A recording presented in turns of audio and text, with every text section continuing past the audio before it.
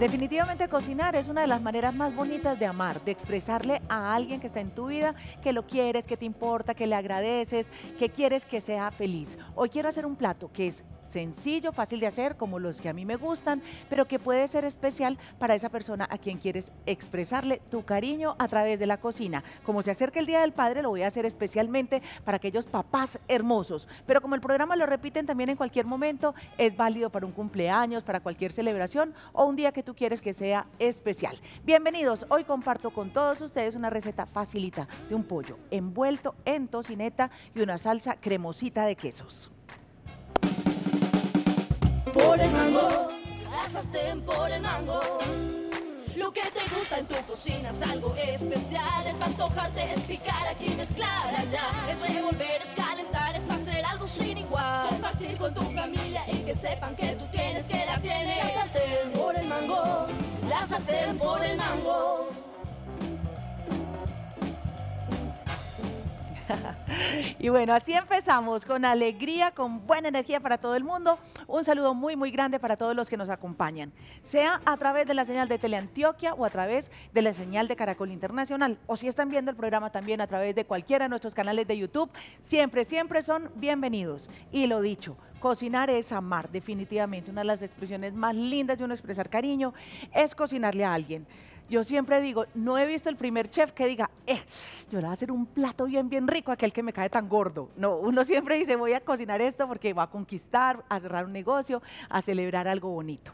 Y hoy tengo una receta que es súper fácil de hacer, como las que a mí me gustan, pero que sé que puede ser como diferente, especialita, como para celebrar un día importante. Aquí les voy a dejar los ingredientes detallados y van a ver que se hace facilísimo.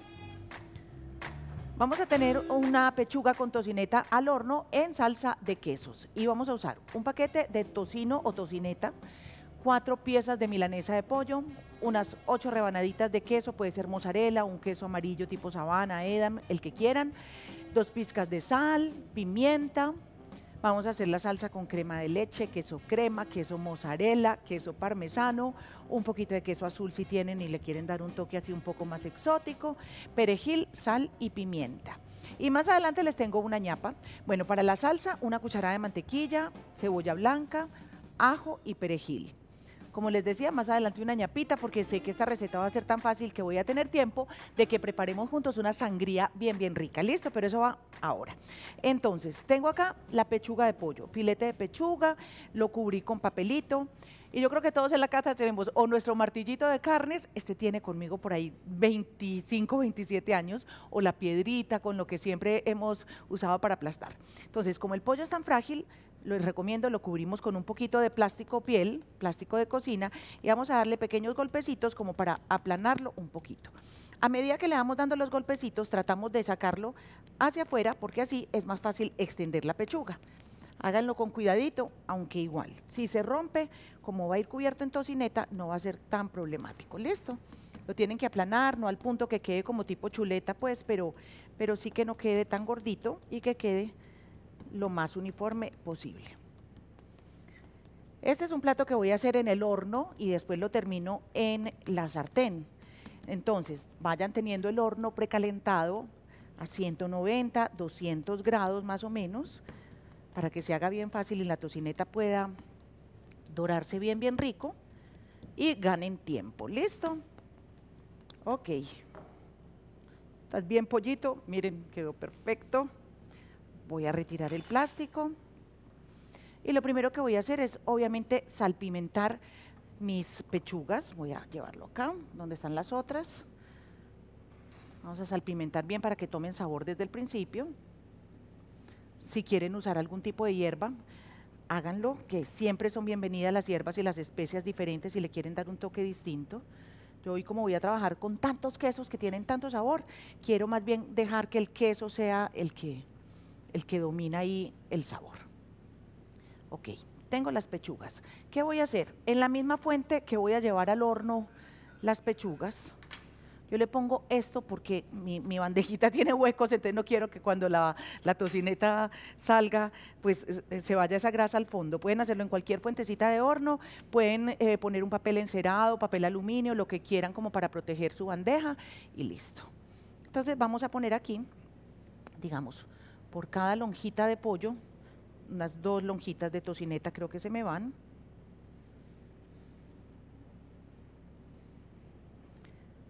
Voy a poner aquí para que sea fácil de envolver. Le voy a poner el queso. Listo. Y aquí simplemente voy a enrollar. Facilito, facilito, tratando de que el queso quede adentro porque él se va a derretir.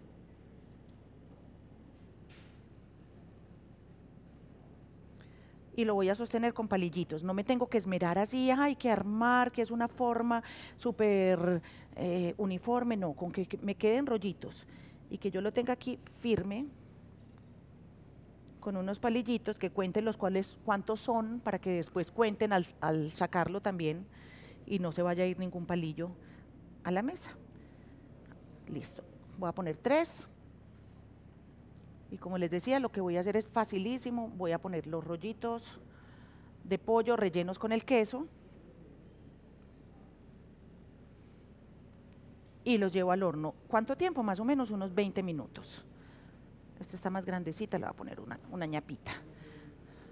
Miren lo que les decía, si se rompió, como este es el caso, no importa, va a venir envuelto aquí dentro del mismo, dentro de la misma tocineta y ella me lo va a proteger.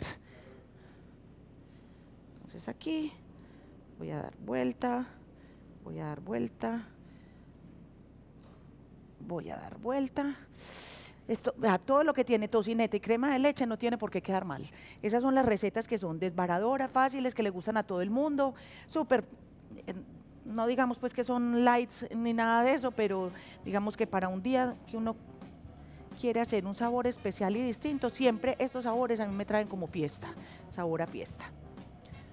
Yo lo que voy a hacer es en la pausa comercial voy a ir picando la cebolla y el ajo picaditos lo más pequeñitos posibles para que mm, al momento de volver podamos hacer la salsa y nos dé tiempo de hacer la sangría, porque bueno, si estamos hablando del Día del Padre, pues queremos celebrar con un brindis, algo bien, bien rico y una sangría súper facilita que vamos a hacer.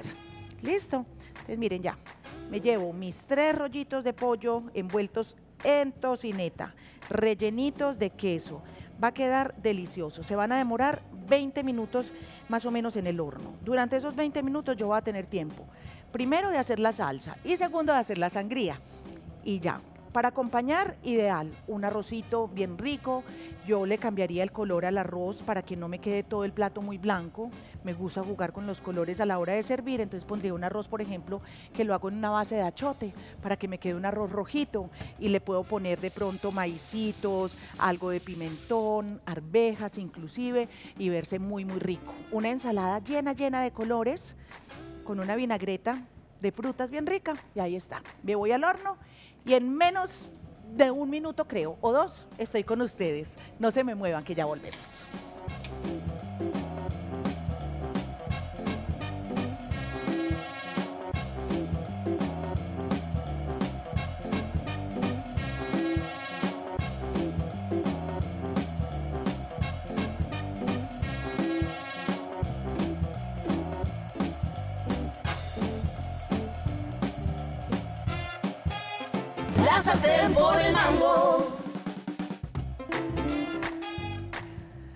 Bueno, vamos ahora con la salsa. Las pechugas, entonces, repito, envueltas en la tocineta. Adentro tienen un queso tipo sabana que le va a dar un sabor delicioso y se va a derretir muy, muy rico. Vamos a hacer la salsa, que es súper fácil de hacer.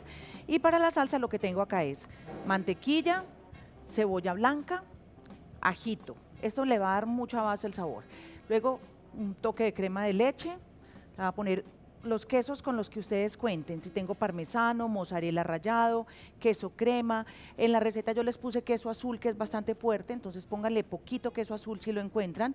Yo no encontré, encontré un toquecito de este que me encanta también, que es camembert. Voy a hacer una mezcla ahí bien rica.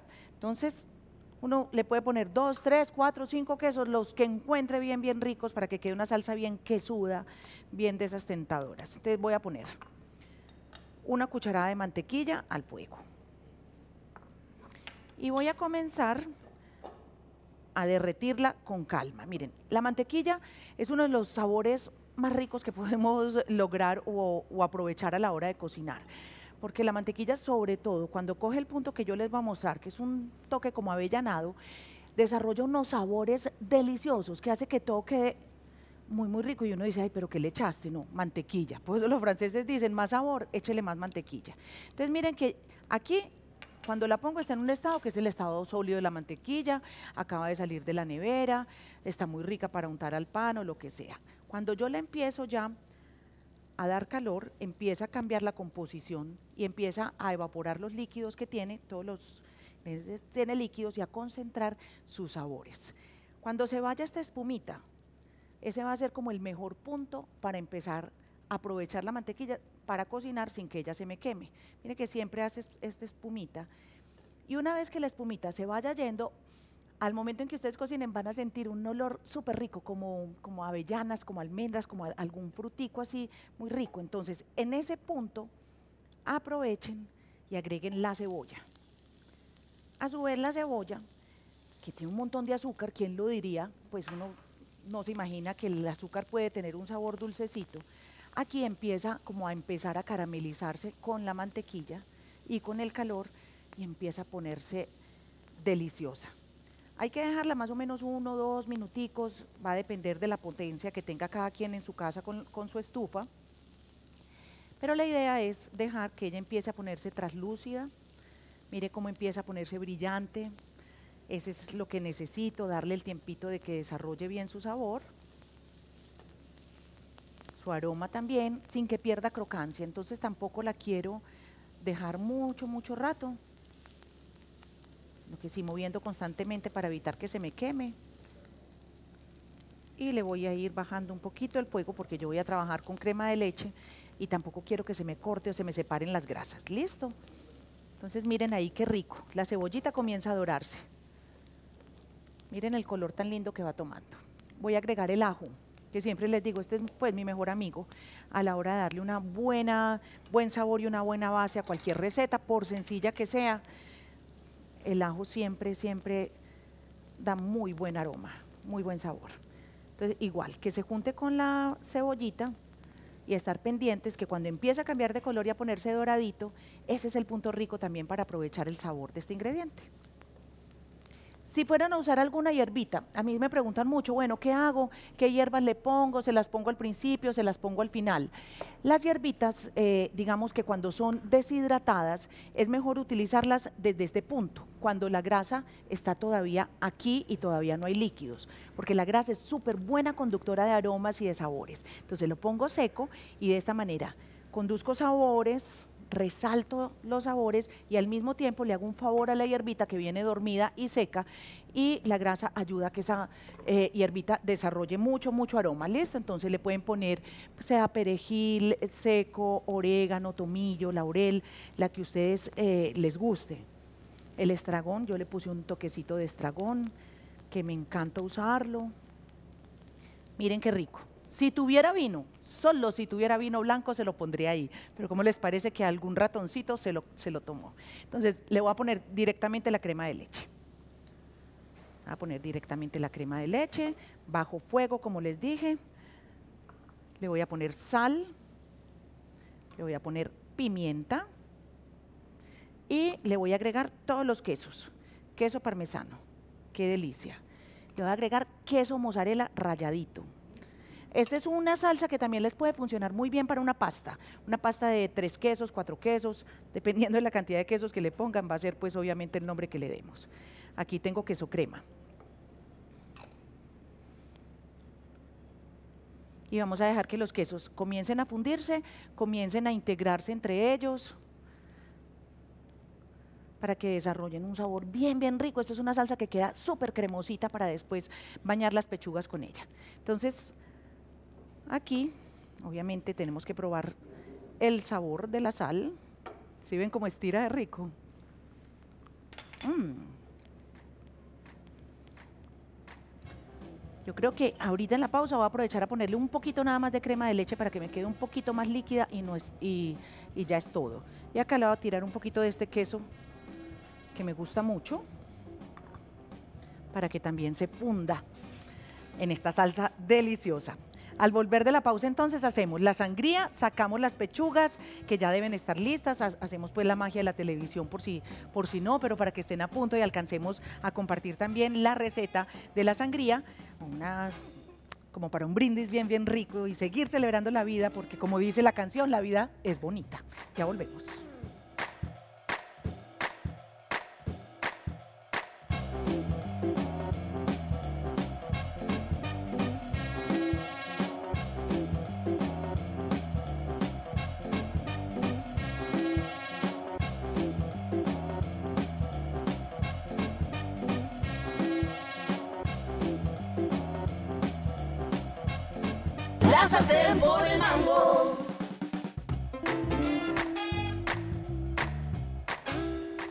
Listo, aquí estamos. Miren esa salsa que sudita, deliciosa. Ya está en el punto, la dejan reducir un poquito y ya está. Las pechugas, vamos a revisarlas, están en el horno y creo que es cuestión de uno o dos minutos. O sea, alcanzamos a hacer la sangría. Uf, se les está regando el queso, ¿vieron? ¡Qué delicia! La voy a dejar un minuto más, me avisan. ¿Listo? Rápido, esta sangría. Miren los ingredientes en pantalla, va a ser súper fácil de hacer y nos va a quedar deliciosa. Vamos a usar una manzana, puede ser roja o verde o mezclar las dos. Vamos a usar fresas, me encantan las fresas en esta preparación. Una naranja, una ramita de canela, eh, vino tinto puede ser media botellita, una copa de ron o de brandy y un litro, medio litro de agua con gas o de limonada, eh, alguna de estas bebidas carbonatadas. Opcional, azúcar. Yo no le voy a poner azúcar, pero es en caso de que le- les guste bastante el dulce. La naranjita la van a usar de dos maneras. Uno, sacan esta belleza así de, de corrosco, de bucle, porque se ve lindo solamente como para decorar la jarra. Entonces, aquí la dejo voy a poner en el fondo de mi jarra las fresas. Lo que siempre me gusta a mí para hacer eh, la sangría es ojalá tener tiempo de hacerlo de un día para otro. Entonces, desde el día anterior pongo las frutas con un poquito de azúcar, las dejo en la nevera y ellas se van deshidratando y cogen un fondo de sabor delicioso. Hoy, lógicamente, no tengo el tiempo de hacerlo, pero sí les recomiendo que al menos, al menos le den, o al menos un par de horitas de reposo a las frutas con azúcar para que cojan bien bueno. ¿Listo? Aquí tengo la naranja y antes de seguir voy a sacar el pollo, no vaya a ser que se me queme el pollo. Apago y ya servimos todo junto. Uf. Vean qué belleza, doraditas, sí las quería y con el queso derretido. Ya vengo por ustedes, mis amores. Entonces, como les decía, si la quieren dulcecita, si le quieren pronunciar el azúcar, para mí las frutas ya tienen suficiente azúcar y no necesitan más, pero de todas maneras le pueden poner un poquito de azúcar, dejarlo de un día para otro. Aquí le voy a poner una ramita de canela. Me encanta el sabor que le da la canela. Voy a usar un vino tinto. No importa si es Cabernet, si es eh, Shiraz, Merlot, no sé qué. Lo que sí les digo es que para hacer una sangría que vamos a mezclar, no vale la pena gastar en el vino más caro, porque lo vamos a combinar. Entonces, para mí es como un sacrilegio, pues, invertir un montón de plata en un vino que lo disfrutaría más bien así en copa, este, que sea de buena calidad, obviamente, pero que no sea, pues, el más fino. Ron o brandy, le pronuncia el sabor una envenenadita rica, porque cuando le ponga el hielo va a bajar muchísimo el, el nivel alcohólico, entonces no quiero que me quede tam- tampoco algo como un poco soso. Y acá puede ser agua carbonatada, puede ser una gaseosa que tenga un toquecito de limón, le pueden poner un poco de jugo de naranja, lo que quieran. Lo cierto es que esta es una preparación festiva, linda, descomplicada y estamos listos para compartirla. ¿Listo? Voy a emplatar entonces mi pollito. Por acá tengo la jarra que vaya cogiendo. Para emplatar el pollito va a ser súper fácil. Voy a poner la salsa en el fondo, que me quepa bastante, bastante salsita en el fondo. Y después le retiraré solamente los palillitos y dejo el pollo enterito. Yo les dije que era súper cremoso. Al final acuérdense que les puse perejil para que tenga un toquecito verde. Le voy a poner un- unos trocitos de perejil encima. Ahí sí me gusta más el perejil que el cilantro para esta preparación. Y que quede con bastante cremita. Acuérdense que les dije también, cuenten bien cuántos palitos tiene cada, cada pechuguita para que no vamos a estar después llevando los pollos con, con palitos a la mesa, que es muy incómodo para el comensal. Entonces, con cuidado los voy a retirar. Miren qué rico, qué fácil es. No nos demoramos nada. Yo sé que por aquí me queda uno. Uno, dos, tres. Uno, dos, tres. Uf.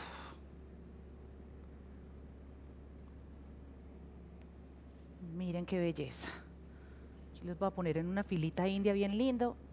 Yo les he dicho que me gustan mucho los platos para llevar a la mesa y que se arme como el desorden, le llamo yo. O sea, que cada quien se sirva a su gusto.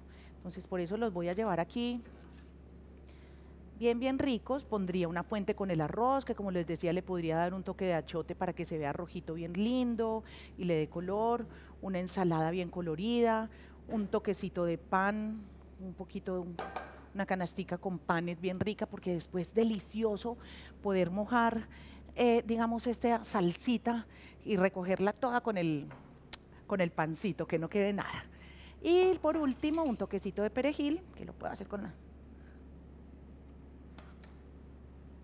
Entonces aquí está. Como ya lavé la tabla, yo no me voy a poner a ensuciar otra tabla para un perejil. Entonces este truquito me encanta, con unas tijeritas de cocina simplemente, algo de perejil encima, que le dé esa combinación de color. Miren qué fácil está. Esta receta se las voy a dejar obviamente en el Instagram y en el Facebook.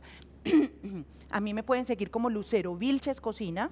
También nuestro programa, aunque por estos días mi, Instagram de la sartén estaba un poquito castigado porque estaban comprobando que fuéramos mayores de edad. Eh, si el Instagram de la sartén por el mango para cuando salga el programa ya está habilitado, ahí les dejo la receta. Si no, también la pueden ver a través de los canales de YouTube de Teleantioquia, de Lucero Vilches Cocina, las veces que ustedes quieran.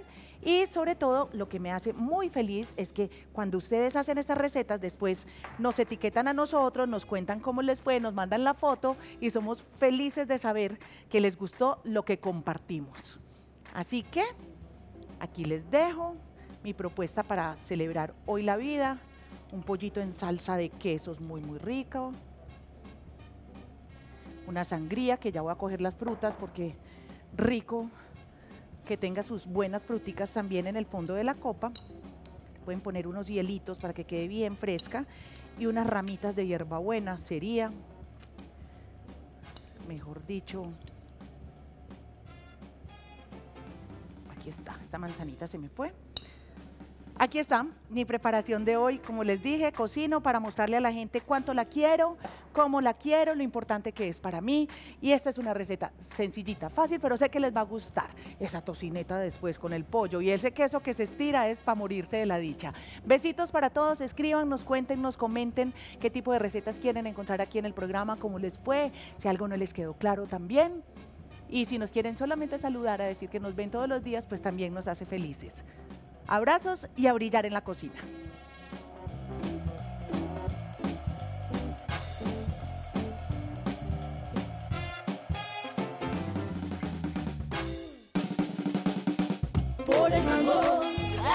Por el mango. Lo que te gusta en tu cocina es algo especial. Es antojarte, es picar aquí, mezclar allá. Es revolver, es calentar, es hacer algo sin igual. Compartir con tu familia y que sepan que tú tienes, que la tienes. La sartén por el mango, la sartén por el mango.